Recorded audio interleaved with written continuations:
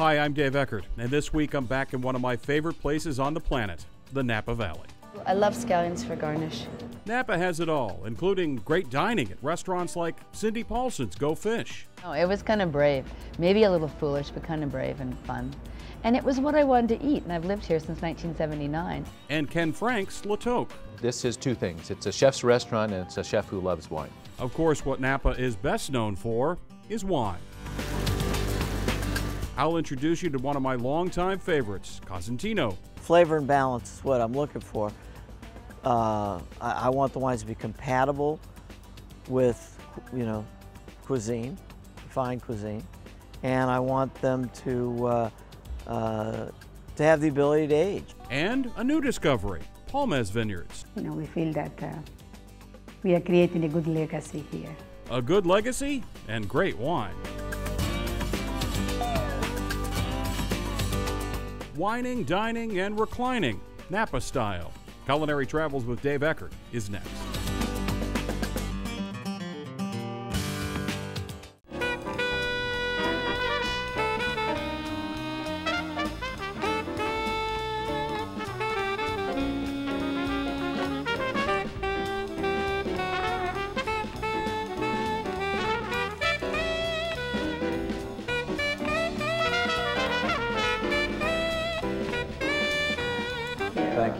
Cheers.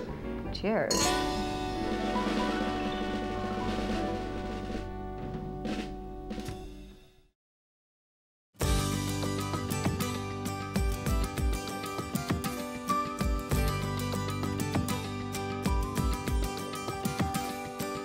Harvest time in Napa Valley. Can't think of a better time to come to this terrific destination. The vineyards are ripe for the picking. The winemakers are primed and ready to go. And the juice, both grapes and adrenaline, is definitely flowing. On this morning, I'm at the crush pad of Cosentino, as in Mitch Cosentino, longtime Napa Valley winemaker, producer of some of my favorite wines in the valley, and a man who started as a wine salesman in Modesto. I didn't know much about wine, but certainly knew how to sell. Uh, and uh, didn't take him long before he was the number one salesman and figured that, uh, you know, he had a, a, knack for this sort of wine business. And uh, it didn't take long before some of these great wine winemakers uh, out in that area were calling him into blending sessions. And uh, he, he really got into it and, and decided, wow, you know what? I, I, can make wines like, like this. And uh, the, yeah, the very first wine that he ever made literally was in his kitchen. And he entered it into a, a national competition and uh, won Best Cabernet Made in America. Mitch has made a lot of Cabernets and a host of other wines since then, most here at his winery in the heart of the Napa Valley. On this day, they were crushing some Semillon that had arrived from the Pope Valley. It's late for Semillon to be arriving, but this whole vintage, the harvest of 2010, is late. You'll find a lot of sunburned grapes because leaves were removed to ripen the bunches during a cool summer when the heat finally arrived. For Cosentino and others, it's a challenging year. You got to selectively pick, so you're you know you reduce your harvest by quite a bit, and uh, now you're you know you've got to get your picking clean so you don't end up with a lot of you know a lot of burnt stuff in, in what you're doing. By Napa standards, Cosentino doesn't own a lot of vineyards, but he sources all sorts of grapes from all sorts of places. He enjoys many long term relationships and the ability to work with a variety of grapes. I'm looking for consistency of, of, of growth, I mean, uh, and development of the vineyard, and, uh, and flavors. You know, I mean, uh, if it's somebody new, like we, uh, this afternoon, I've got a new Merlot block coming in that I'm very excited about because in the vineyard the flavors are fabulous.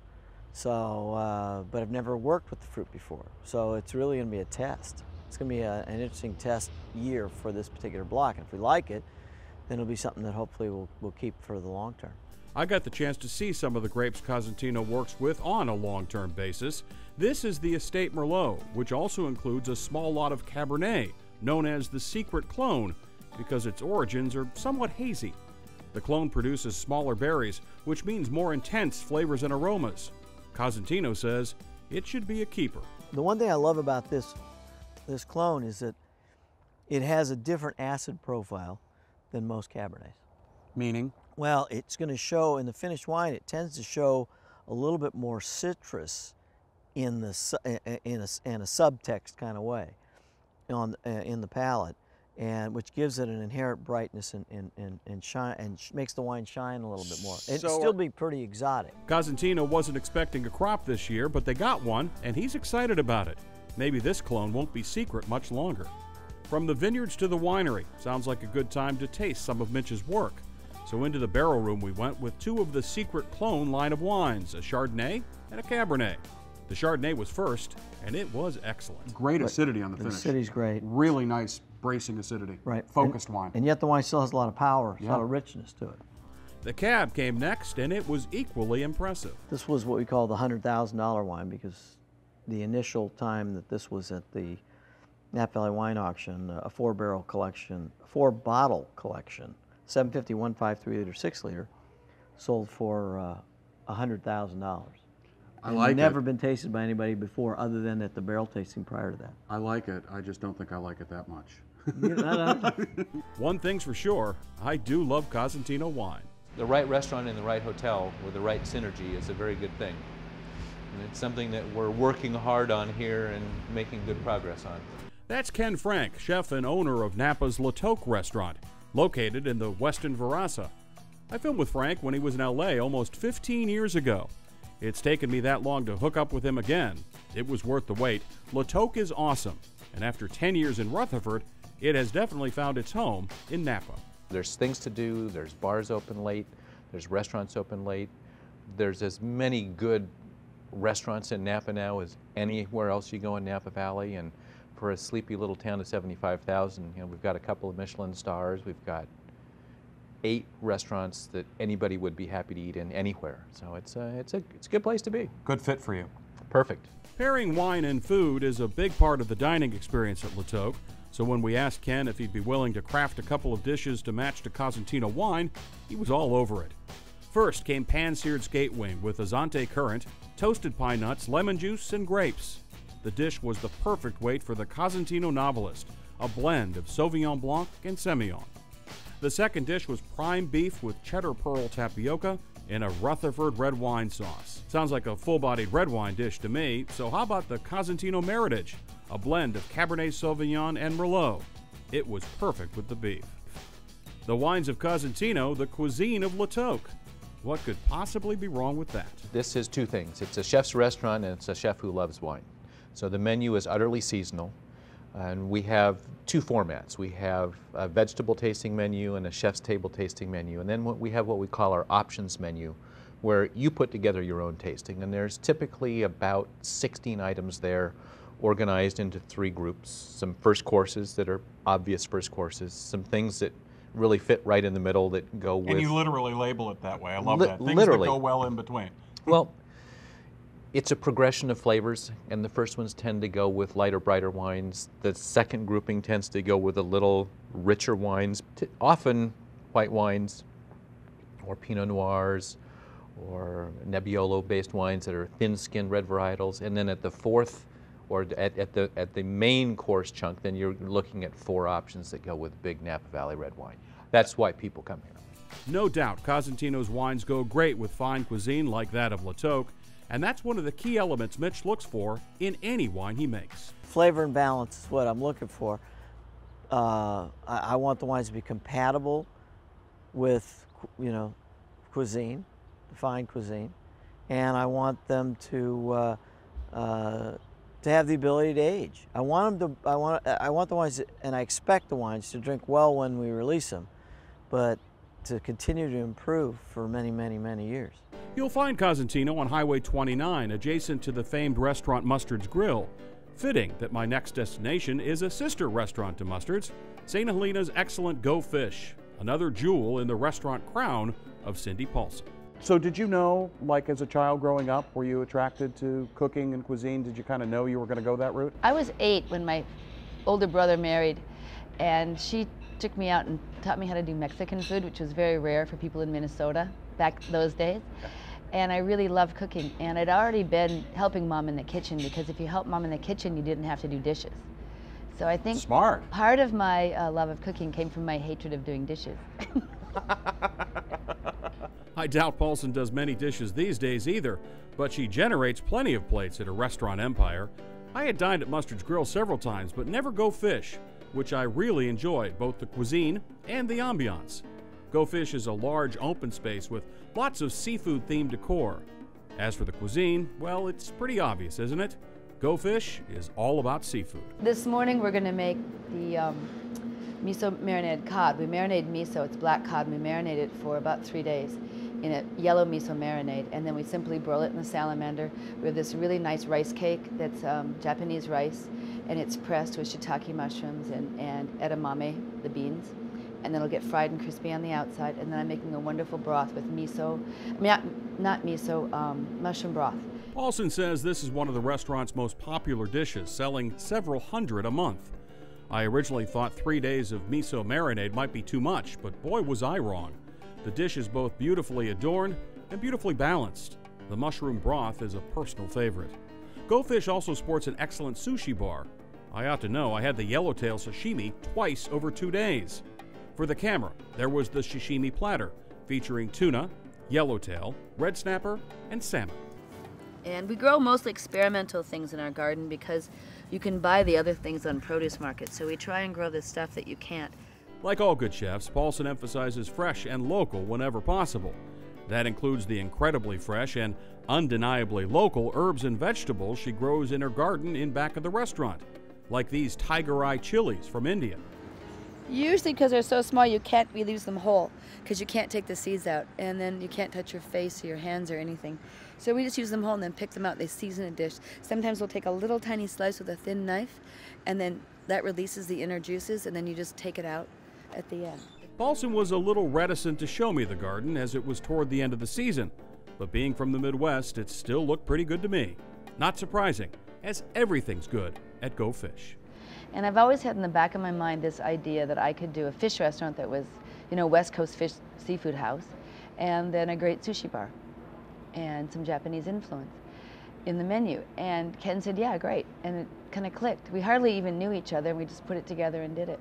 It must have been a fairly unique concept. Um, the idea of, uh, of opening a, you know, almost exclusive seafood slash sushi restaurant in the heart of the Napa Valley, which is Cabernet country. I know, it was kind of brave. Maybe a little foolish, but kind of brave and fun. And it was what I wanted to eat, and I've lived here since 1979. And I know that there's people, we have regular customers right from the get-go, so I know it hit with a lot of people, and it didn't take us long to figure out what was missing, and we added our steak section on the menu. And right away, Yeah. you, you realize. Yeah, There are people who said, are just "Okay." not going to eat seafood. Yeah, no, and they don't want just a braised beef dish. So it was fun. And they did it well. Whatever your choice, trust me, you will not be disappointed at Go Fish.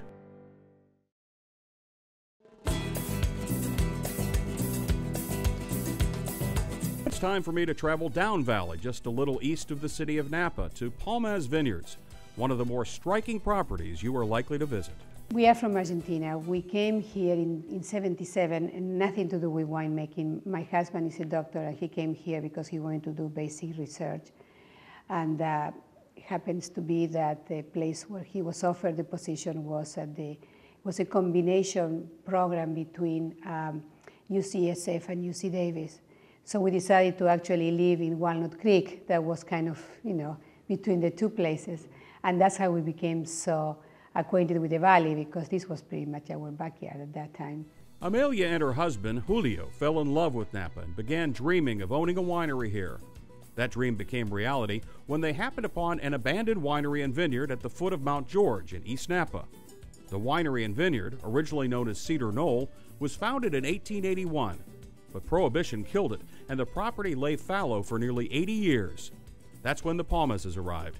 It took a lot of time, money, and work 10 years worth. But eventually, their dream of a Napa Valley winery came true with Palmaz Vineyards. The idea was to make wine and to have a little vineyard and being able to, you know, fulfill our dream of doing something that uh, that was going to be uh, rewarding for the family. We had two, I, mean, two goals. One was to be able to fulfill our dream of making wine, But the second and probably the most important one was to be able to bring the family on board. What is absolutely true is leisure. that by about this time, We are drinking some we wine. are drinking. All of the Palmazes are involved in the winery mother, father, son, daughter, and daughter in law. Yeah. Okay, and they are divine with wine. I got the chance to meet them all during the course of our filming and even break a little bread, homemade empanadas, and drink some wine on the terrace overlooking the vineyards. And I got the chance to learn about those vineyards from Christian Gaston Palmaz. The soils here are amazingly different as you kind of transition from the valley floor up into the base of base of the mountain, and of course on top of the mountain. It's like a totally different world up there.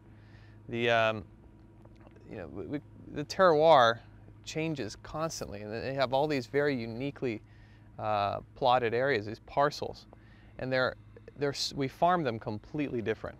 You know, so the, the way you, you treat each of these areas, the, the the way the water moves through the soil, the kind of minerals that are in the soil, the the, the, the fertileness, its ability to, to retain nutrients is completely different from each of these little areas. That means you're not farming a vineyard, but dozens of different vineyards. Add to that the fact that each year is different and you've got a very complex vineyard operation. Palmaz takes some extraordinary steps to best deal with the vineyards, including extremely specific monitoring of how the vines are handling water. Once you know how the hydrology is, then the way you irrigate, the way you actually lay the water out on the vineyard is optimized literally every day. Uh, we, use, we do that using specific uh, different rows of, of emitters in the irrigation, and we can deposit water uh, on a per vine base basis depending on what that particular vine needs. So within this little uh, area that we have predetermined for that year, we'll do our best to make sure that every vine is sort of on track with the one next to it. So really having a vineyard that's in balance, is that, is that fair Absolutely. to say? Absolutely, that's a great word to, to use, yeah. With all the diversity in the soil, the grapes mature at different rates. That means they can be picking in the vineyards for four or five weeks as each individual lot ripens. It's a lot of work, but it's the right way to do things. It all began when the Palmazes purchased the property and replanted the vineyards. When my father was planting this, you know, 14 years ago, they did probably probably on the order of a couple thousand core samples to understand all these soil changes. And it took it took a lot of sort of geoscience understanding to be able to come in and identify the proper rootstocks to use. And uh, here, 14 years later, uh, we're further optimizing that. You know, there's more rootstocks available, and there's more that can be done to get even more quality out of these out of these soils as we continue to understand them a little better. Christian calls it challenging, but definitely worth the challenge.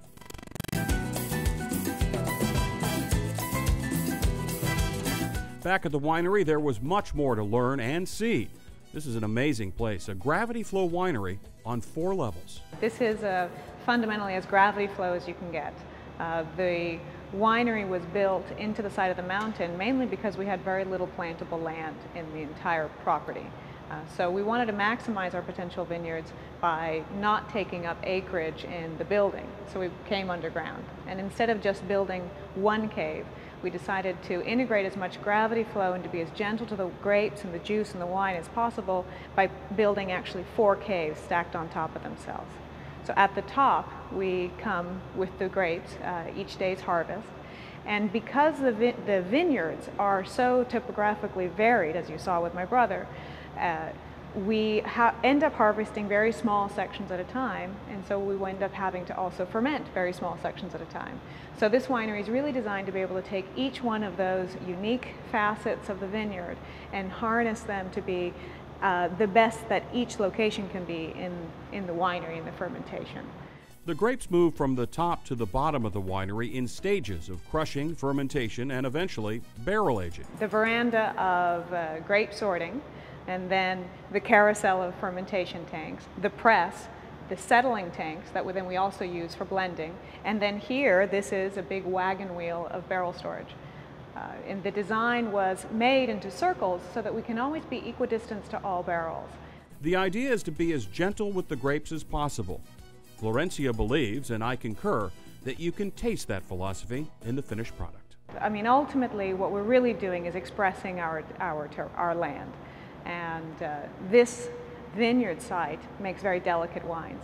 So the gravity flow winemaking allows us to harness that delicacy and really express it in the best way possible. And the best way to confirm that is to taste the wine. I do have a tough job, don't I? Palmaz Vineyards is known for its elegant, silky Cabernet Sauvignons. So imagine my delight when I got to try two different vintages, an 07 and an 06. The first, the 06, was a bit more perfumed. You know, it's layered. There, there, there's a lot going on there. It's very complex.